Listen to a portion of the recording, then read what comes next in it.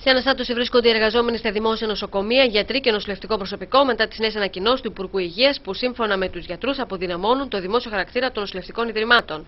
Συγκεκριμένα, είσοδος ιδιωτικών ασφαλιστικών εταιριών στα δημόσια ιδρύματα, όπως τονίζουν οι γιατροί, ανοίγει το δρόμο για την πλήρη εμπορευματοποίηση του δημόσιου αυτοκαθού της δημόσιας περίθαλψης. Οι νέες περικοπές που εξαγγέλθηκαν επίσης στις αμοιβές τους αλλά και στις εφημερίες δείχνουν πόσο η πολιτεία απαξιώνει τα δημόσια νοσηλευτικά ιδρύματα μετατρέπει με αυτόν τον τρόπο σε, θεσμό, σε κεντρικό πυλώνα λειτουργίας ενός συστήματος, ενός κράτους στις ιδιωτικές ασφαλιστικές εταιρείες.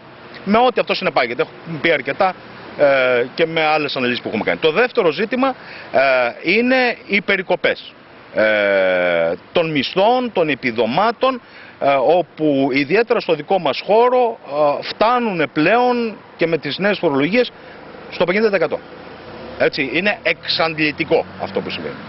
Ε, το τρίτο ζήτημα είναι οι περικοπές από το πρόγραμμα εφημέρευσης. Από περίπου 400 εκατομμύρια που στήχιζε, στήχιζαν οι εφημερίες των γιατρών ε, για να καλύψουν τις επίγουσες ανάγκες ε, όλης της χώρας, ε, περικόπτει τις 250, τα 250 εκατομμύρια. Το μεσημέρι στο αμφιθέατο του Γενικού Νοσοκομείου Λάρισας, οι γιατροί πραγματοποίησαν γενική συνέλευση και αποφάσισαν να προχωρήσουν την Τετάρτη 28 Σεπτεμβρίου σε παράσταση διαμαρτυρίας έξω από τα γραφεία της διοίκησης.